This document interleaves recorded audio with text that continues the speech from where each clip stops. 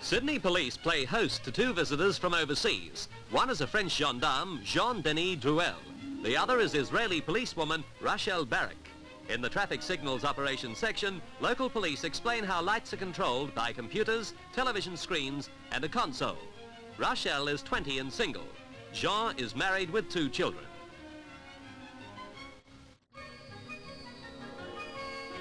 While she's in Sydney, Rachel has a look at other traffic problems, such as how to get school children across busy streets safely, and a local policewoman shows her how it's done. Sydney now has several police women and part of their training is traffic control. Without them, youngsters would be in a lot of bother amid peak hour traffic.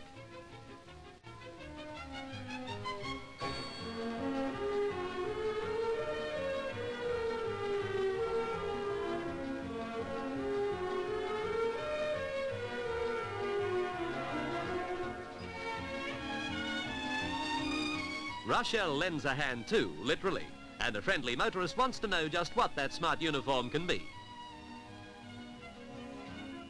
The arm of the law from overseas. Visitors from France and Israel studying our traffic problems.